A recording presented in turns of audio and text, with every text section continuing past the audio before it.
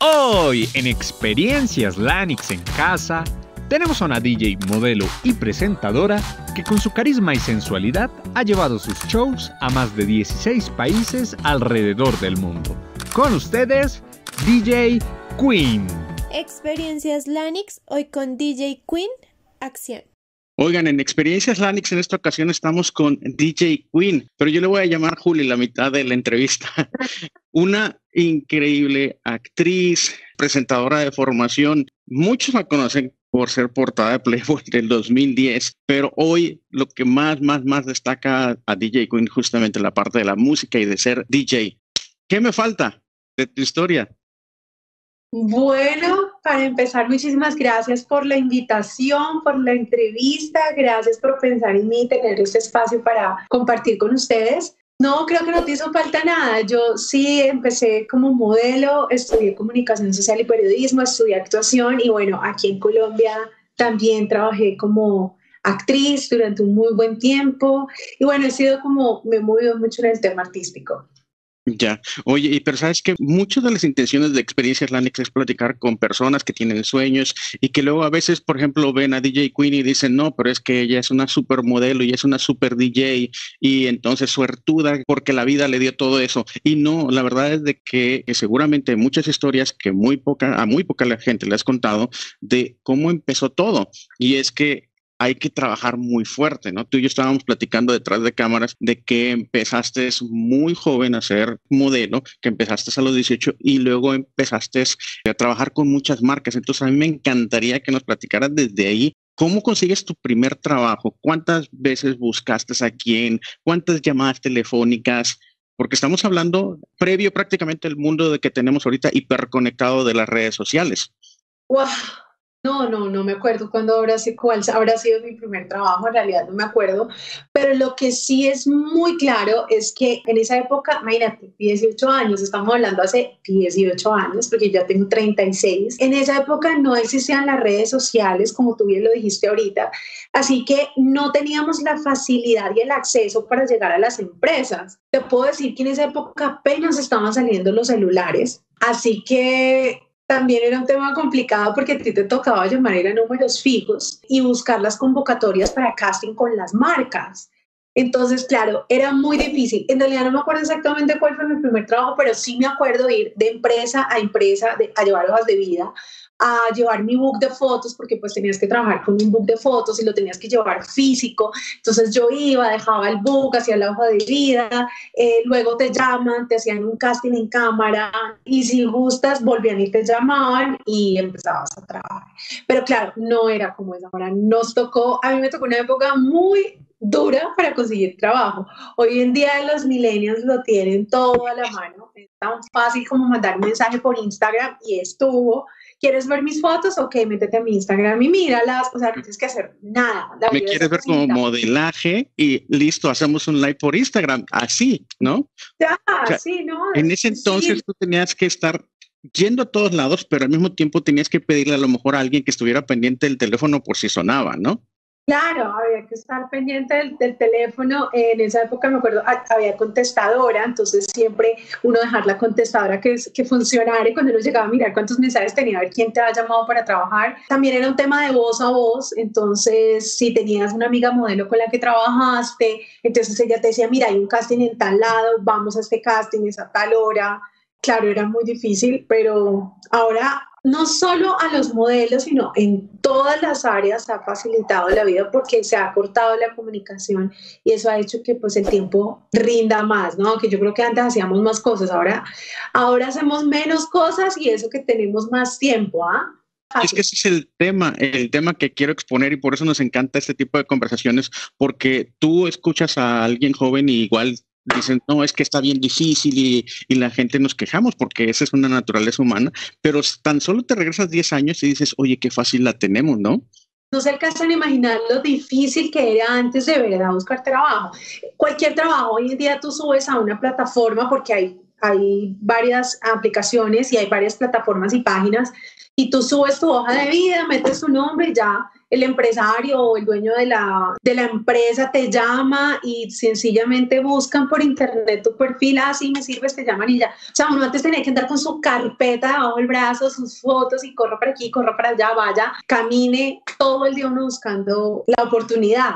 Yo estoy totalmente de acuerdo contigo y esa es la ironía de, este, de, de, estos temas, ¿no? Y por eso como que digo, yo también soy bastante más grandecito que tú en edad. Entonces, cuando yo escucho ese tipo de cosas, es cuando digo, oigan, pero es que no hace 10 años esto era 100 veces más difícil. No estás haciendo X, Y, Z que tienes como sueños porque no quieres. Ahora sí, hay que meterle mucho, sí, hay que meterle muchísimo esfuerzo, ¿no? Hoy, igual antes tenías que ir a 10 empresas, hoy hay que enviar 100 directos a Instagram, a Twitter y a todas las redes sociales. O sea, sí cuesta mucho trabajo, pero hoy es muchísimo más fácil, ¿no? Y ahorita las oportunidades no están limitadas a donde vives, las oportunidades están limitadas al mundo entero. Sí, no están limitadas, eh, hay fácil acceso, pero también facilitar embrutece. Y yo pienso que eso es lo que nos ha pasado de una otra forma, que el, el, hecho de facilitar tantas cosas ha embrutecido al ser humano, como te digo, en todo sentido, porque ahora tenemos hasta menos tiempo, cuando antes alcanzaba el tiempo para todo. Claro. Oye, ¿te acuerdas como cuántas marcas, para cuántas estuviste trabajando, no? Más no, de 50. decir que con cigarrillos, con shampoos, con bálsamos, con tragos, con preservativos, con lubricantes, con carros, con aceites, con apartamentos, con ferias del petróleo. No, o sea, es incontable, no tengo idea la cantidad, con, con licores, con bebidas energizantes, marcas de tecnología, no, ropa. No, así fue, así demasiado, fue una carrera larga y extensa. De ahí tú te entusiasmas a hacer empresa en el modelaje. ¿Cómo nace esa curiosidad de ahora tú representar a modelos y compartir tu conocimiento? Yo siempre he sido una mujer emprendedora, siempre. Así que cuando yo era modelo y me iba muy bien, pues empiezas a tener muchos contactos, ¿sabes? Muchas amigas que trabajan contigo, las conoces. Siempre he tenido don de palabra, eh, me encanta hablar, me encanta socializar. Entonces yo decía, ok, yo puedo trabajar y hacer plata por mí, pero también le puedo sacar plata a ellas, así que vamos a hacerlo. Entonces lo que yo hice fue, yo tengo, bueno, aún existe, se llama Star Group Manager, lo que pasa es que ya no se mueve de la misma forma porque ya hay mucha competencia, hay muchas empresas y pues yo ya no tengo el tiempo para dedicarle el tiempo que se necesita para tener una agencia de modelos, porque tienes que mover muchas niñas, pero yo creo que alcancé a llegar a tener 360, 400 modelos, era bastante. Trabajaba con las marcas grandes aquí en Colombia. ¿Cómo hacía? Pues cuando yo trabajaba, las marcas para las que yo trabajaba siempre, siempre me caractericé por ser la mejor, la que más vendía, la que más ofrecía, la que más hablaba. Entonces me ganaba a mis clientes, les pedía el teléfono, luego ya les mandaba los books y así mismo ellos hacían lo mismo, al voz a voz con las empresas me recomendaban. Entonces ya empezó un momento en el que yo dije, no, ya no quiero trabajar más como, como modelo protocolo porque, eh, sabes, uno tiene que empezar a delegar funciones. Entonces necesitaba el coordinador, necesitaba que estuviera pendiente de ella y yo quería hacer todo. A mí no me gusta delegar funciones porque yo soy perfeccionista y creo que si las cosas no las hago yo, entonces no quedan bien, que es un gran error. Entonces dije, no, yo como modelo no voy más, me voy a dedicar a, la empresa, me voy a dedicar a coordinarlas, a llevarlas, a hacer todo el tema. Y me dediqué a mi academia bastante tiempo. También fui bailarina, entonces fui bailarina de, de artistas de reggaetón, de orquestas aquí en Colombia, creo que con todas trabajé, pero nunca me preparé como bailarina. Decir que fui bailarina, la verdad es, como te digo, no, no, era un tema empírico y era más que tengo oído y tengo ritmo pero tú me pones a hacer una coreografía y soy pésima. Entonces me di cuenta también bailando, pues que también tenía bailarinas a mi alrededor. Entonces dije, un momento, también les puedo sacar plata a ellas, entonces empecé a trabajarlas y a moverlas y me di cuenta que yo para el tema de las coreografías era que fuera muy buena, entonces dije, no, voy a hacer a un lado y lo que voy a hacer es ofrecer los shows y ofrecer las, las, las bailarinas. Entonces, alguna vez les llevo bailarinas a Alberto Style, a Don Omar, a Wisin y Yandela, cuando venían acá a Colombia.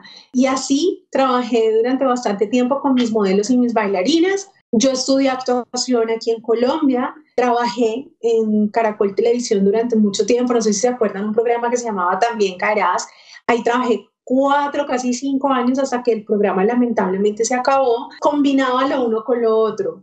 Teniendo mi agencia, el director de la revista Playboy en Colombia viene a mí y me dice que necesita hacer un casting para la revista, pero que necesita que la modelo que, que va a salir tenga que ver con algo musical, porque la revista es una edición musical. En esa época estaba apenas empezando J Balvin y J Balvin fue uno de los entrevistados en esa edición de Playboy. Hicimos el casting, no funcionó muy bien, no gustó mucho las niñas que vieron. Entonces, bueno, por casualidades de la vida, el personaje me escucha hablando por teléfono diciendo que esa noche tengo que irme a una presentación. Yo lo que hacía era que con los DJs que yo conocía, ellos me dieron la oportunidad de hacer privados con ellos como para irme fogueando, ir aprendiendo y perdiendo el miedo, los nervios y esa noche precisamente el casting tenía una presentación, me llamaron, yo hablé del tema, él me escucha y me dice, ¿qué es lo que tú vas a hacer? Digo, no, mira, yo me tengo que ir porque yo soy DJ y esta noche tengo una presentación. Y me dice, no, pues la que tiene que hacer esto eres tú. Y yo, bueno. O sea, originalmente le habían llamado a la empresa de modelaje y terminó siendo la directora dueña, este, la, la modelo la modelo de, de, la edición 2010. La hicimos en octubre, pero realmente salió en enero porque tuvo unos problemas ahí de edición. Eh, salí como DJ Playboy en el 2010 y eso fue lo que me catapultó para continuar una carrera como DJ y dejar el tema de las modelos, el tema de la agencia, el tema de la bailarina, el tema de dejarlo todo atrás y me dediqué 100% al tema de, de ser DJ. Bueno, pero muchos dirían, oye, pues qué padre, si fuiste revista y, y, ya de ahí salió todo, ¿no? Este, de cero a, a, un millón. Platícanos la parte más bien de que, o sea, tú empezaste a conocer el mundo de la farándula, empezaste a aprender, o sea, no se aprende a ser DJ de la noche a la mañana. ¿Dónde empieza la curiosidad por aprender de música? ¿Cómo empiezas a aprender a mezclar? Bueno, te cuento que la verdad que sí, a mí el tema de ser DJ sencillamente me atropelló yo nunca lo pensé, nunca lo imaginé, admiraba mucho los DJs y me parecía muy nice todo lo que hacían, pero jamás dije, voy a aprender, ni siquiera pensé en aprender, nunca. Pero una persona que se atravesó en mi camino, que era DJ, me dijo un día como, mira, ¿tú por qué no te vuelves DJ? Yo, pues porque no me interesa. no es lo mío. Y él me decía, mira, a mí me parece que si tú te volvieras DJ, sería muy bien porque mujeres DJs no hay. En Colombia en momento habían, sí, sí mucho, cuatro DJs. Y te estoy diciendo ya, es demasiado, o sea, no habían más. Entonces él me decía, mira, tú bailas, actúas, por lo tanto no te da pena subirte a una tarima. Y pues eres modelo, tienes el cuerpo para ser un artista integral. Tienes oído, tienes ritmo, yo te enseño. Entonces yo al comienzo sí dije, no, no estoy de acuerdo porque no me quiero meter en algo que yo no conozco y que yo no, no, no ansío hacer. Me parecía como, no sé, como que me rayaba un poco. Yo decía, no, no me veo, no me veo. Es como si tú estás haciendo algo toda tu vida y de pronto te dicen, no, mira, ¿por qué no te pones a, no sé, a vender eh, algo que tú jamás pensaste vender? Entonces, no, pues yo no me voy vendiendo eso. Finalmente el personaje me convence eh, me acuerdo mucho que me dijo, mira, si quieres y no quieres tocar, pues yo te hago las mezclas y tú te haces la que tocas. Me acuerdo mucho que me dijo eso. Le dije, mira, jamás, jamás caería en hacer algo mal hecho. Si lo voy a hacer, lo hago bien. Si no, no lo hago. Entonces me dijo, listo, yo te voy a enseñar. Efectivamente, este personaje me enseñó a tocar. Yo respeto el trabajo de los DJs, obviamente, y lo admiro muchísimo, pero sí hay que tener la claridad de que cuál, es decir, hay que tener lo que decía yo ahorita, ritmo y oído. Si tú tienes ritmo y tienes oído, ya tienes el 50% adelantado. Esta persona me empieza a enseñar, yo aprendo, ahí es cuando casualmente me llaman de Playboy yo llevaba muy poco tiempo, en, llevaba, no sé, un, mes, ya estaba tocando en fiestas y en eventos, como tengo privados con mis amigos, y ahí es cuando aparece esto de Playboy y me dicen que si lo quiero hacer, lo hago, salgo como DJ Playboy y boom. O sea, realmente así fue. En la vida, tanto como los actores, como los cantantes y los DJs, Mira, sabes, yo, yo me podido dar cuenta en el transcurso de mi carrera y de todo lo que yo he hecho, que hay gente que nace con estrella y hay gente que no nace con estrella. Y hay gente que le va muy bien en lo que hace y hay gente que definitivamente por más de que lo haga muy bien, no pasa nada. Sí, el, ADN, el ADN o sea, funge mucho y es súper importante, pero también la pasión en la práctica. ¿no? afortunadamente tú tuvieses a alguien que te entrenara y que te diera todo el equipo, porque el equipo también es costoso. Yo medio curiosidad, yo te llegué a tener mis tornamesas, mis Technics MK200 y le daba durísimo y viví parte de ese mundo y yo le daba o sea, le daba ocho horas y ocho, o sea, le daba ocho horas cuando recién estaba aprendiendo a reconocer los beats y a reconocer todo lo, todo lo que tiene que ver con la música y le tenías que dar durísimo para que te dieran una oportunidad, pero también hay mucho en el ADN para que te salga natural y que lo aprendas rápido y que vayas progresando muy rápido, ¿no? Y mira, es un tema de Ángel también. No te estoy diciendo que haya personas que no lo tienen, pero es que es increíble. Mira, por ejemplo, por ejemplo, como actriz, yo siempre soñé y tuve el anhelo de ser una actriz muy reconocida y muy famosa porque realmente la actuación a mí me corría por las venas. Pero te digo, no se me dio. No sé si es que no soy buena o que soy buena, pero no pasa. ¿Me entiendes? Un ejemplo. Hay muy buenos, lo sé, mezclan increíble, hacen unas cosas loquísimas, pero no se les Lo mismo que pasó conmigo con la actuación.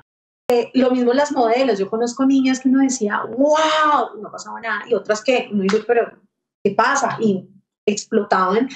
Entonces es como, te, digo, no entiendo, no sé si es de ángel, no sé si es de estrella, no sé si es de suerte, no sé si es de oportunidades, no entiendo. Pero en mi caso, que fue algo que no pensé, eh, porque pensaba como modelo, como actriz, como lo que fuera, pero nunca como dice, se me fueron dando las cosas y, gracias al, al, universo que conspiró, tuve la oportunidad de estar en Playboy. Sé que eso me ayudó muchísimo porque estuve detrás de una marca catapultada que fue lo que muy rápido.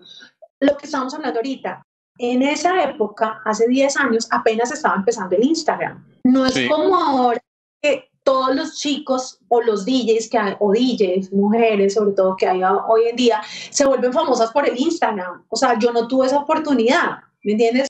Es decir, a mí me tocaba ir discoteca por discoteca, tocar, crear un nombre, una fama, un reconocimiento.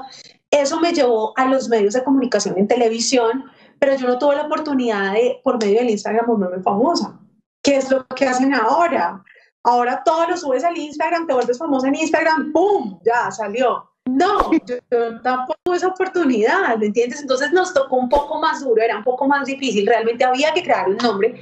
Cuando yo empecé fue muy duro porque, claro, Playboy te ayuda, pero es bueno y es malo porque también te ayuda a destruirte. Y realmente muchos DJs eh, trataron de acabar conmigo por el hecho de que ella solo se desnuda. Eh, te cuento, en esa época cuando yo vi DJ Playboy, yo me ponía los dos conejitos de Playboy en los senos y hacía toples en mis toques. Entonces eso fue el, el acabose. O sea, aparte de que esta vieja nunca estudió para ser DJ, entonces ahora viene, se vuelve famosa, cobra un montón de dinero y fuera eso se pela. O sea, eso era terrible. Me tocó luchar con las ofensas más horrorosas. Me sacaban en televisión, cosa que me ayudó muchísimo, diciendo que yo no tocaba, que yo era solo senos, que yo eh, me subía con las mezclas ya pregrabadas.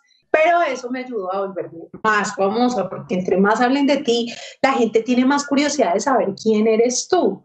Sí, tuve una subida impresionantemente rápida, pude sostenerme y demostrar que no era un tema de, de, solo un desnudo y un show sexy. A los tres años ya yo me solté el tema de Playboy y empiezo a tocar vestidita, por decirlo de alguna forma, pero, o sea, con ropa muy ligera, un show muy sexy, con dos bailarinas tipo gogo, y seguí demostrándole al mundo, a los DJs, a las discotecas y a la gente que realmente era un show y un performance y que realmente tocaba en vivo porque además cometía muchas embarradas, pero ya tuvo un momento en que tuve una sostenibilidad donde ya, ok, ya fui parte de los DJs y ya como que todos tuvieron que, bueno, aceptémosla, ya no hay nada más que hacer y, y ya. Entonces como que ya después de que tú subes, bajas, pero hay una parte donde te equilibras y puedes sostener tu carrera. Platícanos, en ese entonces la escena de la música electrónica tampoco era enorme. En, no sé si en Colombia, no, no estoy tan familiarizado con, con, Colombia en el 2010, pero en general, o sea, como tú dices, mujeres DJ prácticamente nada en, en la escena. Este, y la escena electrónica en sí era muy pequeña en, en, en, eso entonces, al menos para mí la música electrónica la escena de música electrónica la conocí en Cancún y, y yo veía más afuera y veía hacia el sur y no se veía mucho. De trabajar acompañando a, reggaetón y eso cambiase esa música electrónica. Y bueno, ahorita ya te, he escuchado lounge, tribal, te he escuchado uh, guaracha, pero, pero en, en, la música electrónica, que es en donde está, arrancaste, ¿cómo era esa escena? Bueno, en esa época estaba empezando fuerte el tema de la música electrónica, estaba pegadísimo David Guetta, me acuerdo que eso era pues donde me pusiera David Guetta, la gente se enloquecía, hoy en día te pones David Guetta, la gente es como, la gente dijo que en esa época estaba en furor, estaba empezando fuerte, estaba en creciente la línea de la electrónica, pero a mí me pasó algo muy curioso y fue que yo era electrónica, pero yo trabajaba en la rumba crossover rara vez estaba en una fiesta electrónica. Me imagino yo, por el show, porque yo interactúo mucho con el público, bailo mucho en tarima, eh, la gente casi no baila por estarme mirando. Es un show, es un show de verdad. Entonces a mí me contrataban para la hora o me contratan para la hora de electrónica. Y yo lo que hacía era que ponía todo lo comercial, todo lo comercial que estaba en ese momento en furor, Steve Aoki, eh, de Viguera, Marshmello, todos los que estaban en ese momento, por favor, sí. Yo colocaba esa ahorita, esa hora de electrónica, y era el boom, era el, el boom con el tema. De vez en cuando tocaban fiesta electrónica, pero es que ya DJs electrónicos aquí en Colombia sí habían muchos. Los DJs de crossover no tenían nada que ver con los electrónicos y siempre ha tenido esa pelea y esa rivalidad. Y resulta que yo estaba en los dos lados. Eso fue también algo que me ayudó mucho. Yo tocaba allá y tocaba acá pero ellos no, los crossover nunca tocaron en electrónica y los electrónicos nunca tocaron en crossover, jamás, yo tocaba en los dos lados. Entonces, esa fue otra cosa que me benefició mucho, moverme en la rumba crossover. En los conciertos yo le abría a Tony Dice, le abría a Wisin Yandel, le abría a Alexis Silfido, a Don Omar, Alberto Style, a Mr. Black, bueno, y era electrónica, ¿me entiendes? Bien abría o bien cerraba el show de ellos. Eh, creo que ellos ni sabían que estaba ahí en la tarima, pero igual pasaba y, y, eran unas experiencias increíbles. En ese momento no existía, como dices tú ahora, la guaracha, en ese momento existía el tech, el tech house y sobre todo el house comercial. Uno decía house comercial, ya, o electro house. Ya tú con eso ya tenías house y electro house. Obviamente las cosas han venido cambiando, ¿no? Salen nuevos ritmos, salen nuevos géneros, salen nuevas fusiones. Yo ahorita lo que más toco es tribal y el tribal sale el, la guaracha y bueno, a la gente le gusta mucho y lo pide mucho en el mundo entero. Yo estaba en 15 países, 16 países y en los 16 países me piden guaracha, eso es lo que le gusta a la gente. Pero como tú decías ahorita, si a mí me piden tech, si a mí me piden techno, si a mí me piden lounge, si a mí me piden minimal, yo toco lo que me pidan. Porque no me gusta encasillarme, porque creo que uno no puede ser una copia de, de la gente, uno tiene que ser un contraste. Y ese es mi contraste, darle gusto al cliente. Si el cliente quiere reggaetón, le pongo reggaetón. Yo lo que necesito es moverme y facturar. Ese, ese, ese es mi pensamiento siempre tengo que facturar. Y yo facturo donde Rendimiento antes que cualquier otra cosa. Sí, no, no, eso es que, porque aquí hay mucho el tema de que guaracha, eso no, eso es terrible, eso cómo tocas eso, no, y, y así es que he estado en los dos bandos, en los dos lados, escuchándome muchos oídos que muy seguramente nunca escucharían una guaracha o que no escucharían un reggaetón. Y he sido muy versátil, he sido muy versátil con el tema de, de mi música. Oye, Juli, y por ejemplo, DJs que te hayan inspirado al principio y mujeres DJs que admires. No. Cuando yo empecé, no había DJs mujeres. Eh, uh -huh. Puedo jactarme de decir que fui una de las DJs pioneras en Colombia y le abrí camino a muchas niñas que hay ahorita que en su momento ni creyeron ni pensaron que a una DJ se le podía dar la oportunidad de tocar, porque es un mundo muy machista y realmente fue duro para mí, me imagino que fue duro para las que estaban antes que yo, pero nosotras a, ayudamos a abrir un campo ayudamos a que ahora hayan tantas mujeres porque ahora hay para dar y convidar. Hay muchas niñas la gran mayoría de las modelos colombianas se han vuelto DJs. Entonces uno dice, bueno, aunque ellas no saben, porque hay unas que tú les dices DJ, pues ni me conocen, pero lo que no saben es que nosotras, esas tres, esas cuatro DJs que estuvimos hace 10 años, fuimos las que les abrimos ese campo y abrimos, no solo para que el público le gustaran las DJs mujeres y se dieran cuenta que no somos unas brutas y que sí podemos tocar, sino que también los DJs hombres aceptaron a las DJs mujeres porque no había aceptación, no, era, era una envidia, una rabia. Mira, yo iba a tocar y a mí los DJs de las discotecas me dañaban el show, me dañaban el mixer, me dañaban las unidades, era un tema atroz. Entonces, digamos que puedo decir eso, yo, yo fui pionera en este momento, veo muchas mujeres tocando y digo, qué bien, lo logramos porque somos unas berracas y porque sí podemos, sí podemos, no somos ninguna brutas. Y como hombres, realmente a mí el hombre en tarima me parece muy básico. Entonces, yo no tengo admiración por ninguno, ni por ninguna. Entonces, cuando yo dije, voy a ser DJ, dije, voy a abrir esta historia en dos Creo que lo logré porque lo que te decía, lo mío era un show, yo voy con bailarines, yo bailo, yo soy súper extrovertida, de hecho ahorita hay una DJ en Colombia que yo le ha ido muy bien y yo la veo y era lo que yo hacía o era lo que yo hago. Pero pues ella perfeccionó el material y le ha ido increíblemente bien, además también se ha vuelto famosísima supremamente rápido, pero veo que alguien tomó lo que yo hacía y lo mejoró lo perfeccionó. De hecho, hay una revista, esta DJ, que comenta mucho acerca de que la mujer DJ es un performance y el hombre DJ agarra y se mete en su cabeza y en su mundo y resulta que la gente está allá enfrente, ¿no? Pero eh, sí, es performance la mujer DJ.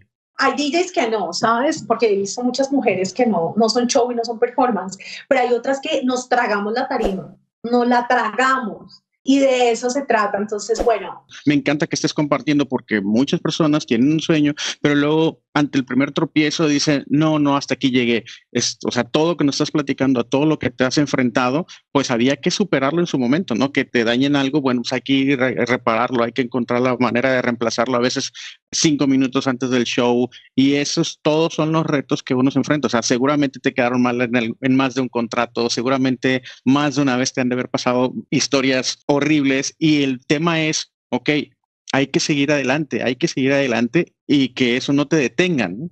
Entonces, yo no sé si recuerdas, por ejemplo, algún fracaso, digo, normalmente en la cabeza del emprendedor es, ok, aprendizaje, next, ¿no? Pero si tú te acuerdas algo que nos puedas compartir así de en donde hayas dicho, mm, ya no sigo, pero te volviste a levantar y le seguiste. Claro, pasan, han pasado muchas cosas.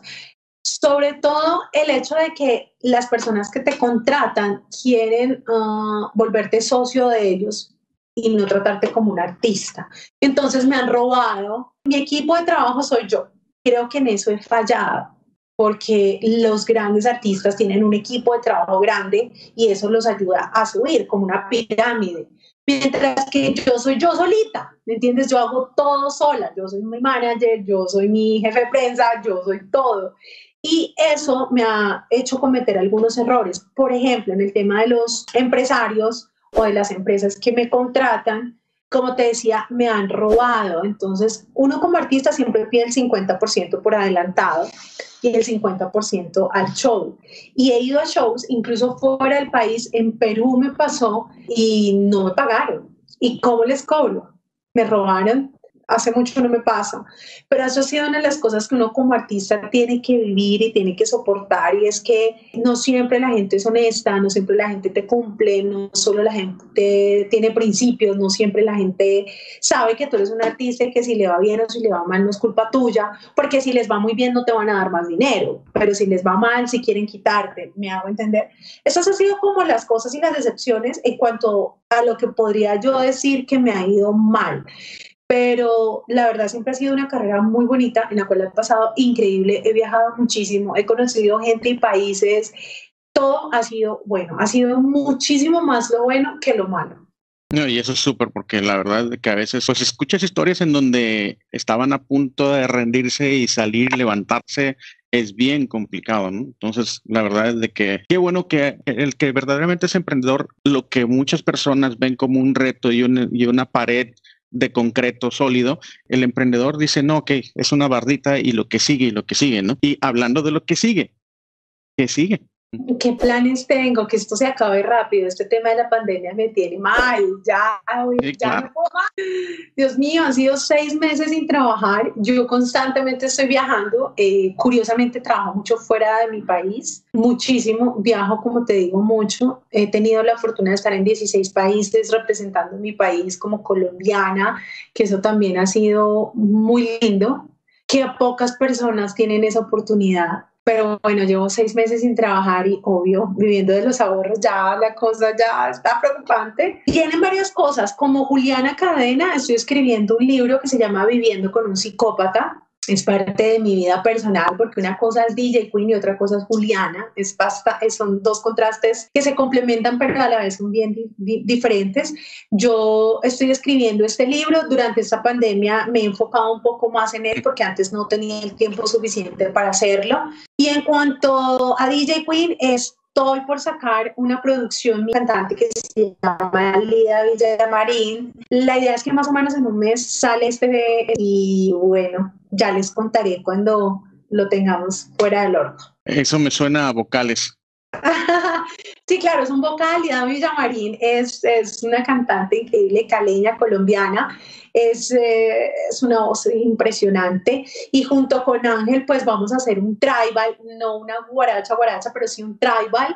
Eh, bien, bien, bueno, a mí me encanta lo que él hace, me encanta lo que estamos haciendo y bueno, vamos a ver qué pasa con, con este. Además que es el primero que va a sacar, ¿me entiendes? Porque yo nunca he sacado un track, yo nunca he sacado una canción. Yo me considero DJ eh, y los DJs mezclamos, no soy productora, pero en vista de que ahora los DJs sacan producciones en cantidades, entonces dije, no, bueno, hay que hacer lo mismo, no me puedo quedar atrás. Entonces eso es como lo que viene como, como DJ. Y apenas pasa esta pandemia, tengo una gira que quedó pendiente en Italia, con tiquetes comprados y todo antes de que empezara la pandemia. Entonces espero que para este año ya podamos continuar con, con la gira que tengo en Italia. ¿Alguna inquietud de Tomorrowland? No. ¿No? Si en algún momento tuviera la oportunidad, claro, eso sería, es, sería muy bueno, pero no es algo que en este momento o que en la vida me haya trasnochado, ¿sabes? Y no me he dado cuenta de eso, es algo que por tu pregunta yo digo como, ok, si se da bien, si no se da no pasa nada, yo sigo viajando, sigo tocando, sigo facturando y está bien, o sea, si se da, wow, si no se da, no pasa nada, pero no me trasnocha, no es así como el sueño inalcanzable, ¿verdad? ¿Dónde podemos escuchar este, mezclas tuyas o que estés compartiendo? O no sé si estás haciendo lives. Sí, sí, estoy haciendo, bueno, mi, mi Instagram es arroba DJ Queen, Juliana CT. Este, en YouTube tengo un set incluso que hice hace poco que se llama Quarantine, Quarantine Mix. Me encuentran como DJ Queen y estoy en temas, sí, de entrevistas, de hacer live. En SoundCloud también me pueden encontrar. En SoundCloud me encuentran como DJ, DJ Queen también. Y bueno, tengo varios sets y varias cositas donde me pueden escuchar. Genial. Oye, siempre que cerramos estos capítulos les pedimos que nos regalen una pequeña frase inspiradora que te haya servido a ti durante tu carrera o durante un mal momento, como para inspirar a la gente ahí para que empiecen a hacer, empiecen a dar el primer paso hacia lo que quieren. Bueno, más que una frase es un consejo. Cuando uno quiere hacer algo, tiene que hacer lo que le gusta al público. Yo peleo mucho con eso con los DJs porque la gran mayoría de los DJs quieren hacer música para ellos y quieren tocar para ellos y por eso se quedan en su casa. Cuando tú abres tu mente y la expandes a que el público es el que te da de comer, a que el público es el que te contrata, a que el cliente es el que te paga y tú quieres darle gusto al cliente, la perspectiva va a cambiar. Las personas que están empezando a ser DJs también siempre les digo, no sean copias, o sea, DJs hay muchos y DJs mujeres también hay muchas. Entonces, hay que hacer contraste, no ser una copia, hacer un contraste. Cuando tú haces un show diferente, un performance diferente, cuando tú haces algo que llama la atención y que no lo hay, siempre te van a buscar, siempre te van a contratar, siempre te van a tomar. Pero si eres del montón, del montón te vas a quedar. Eso no hay nada que hacer. Sé que a veces uno se frustra, la frustración siempre está. Yo me he frustrado, no como DJ, pero sí me he frustrado como actriz, como presentadora, he tenido frustraciones en mi vida, la frustración siempre va a estar. Pero si no quieres continuar por lo mismo, entonces, bueno, continúa por otro lado. Siempre tienen que haber muchos caminos que te van a llevar a ser exitoso. Lo que yo te decía, mi camino no era la actuación, pero mi camino era ser DJ y yo ni siquiera me lo esperaba. Entonces, si no puedes por un lado, búscale por el otro, pero no es el brazo a torcer. Ok, búscate otro camino, búscate otro, pero tienes que ser exitoso. Por algún lado tienes que tener éxito. No pudimos venir al mundo a ser un fracaso. No puede ser. Todos tenemos los dones, todos tenemos inteligencia, todos tenemos las posibilidades. Finalmente yo terminé estudiando en DNA Music, en una academia para DJs. No solo fue esta persona que me enseñó los días y ya.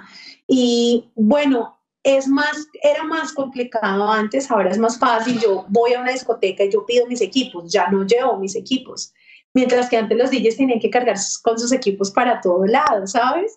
Entonces ahora las cosas se han facilitado más y mientras estén más fáciles, pues obviamente para la gente es más fácil cumplir sus objetivos. Así que no hay cabida a la frustración, todo es más fácil, más asequible, más rápido. Así que en lo que sea hay que lograrlo. Sí, y yo te lo complemento con que prueben muchas cosas, van a encontrar su pasión en el camino. Y pues con esto dejamos en este capítulo. Acuérdense que el dedito, la campanita, recordatorios, compartan y nos vemos en la próxima. Muchas gracias. Muchas gracias. Que estés bien. Chao. Un saludo para todos. Gracias.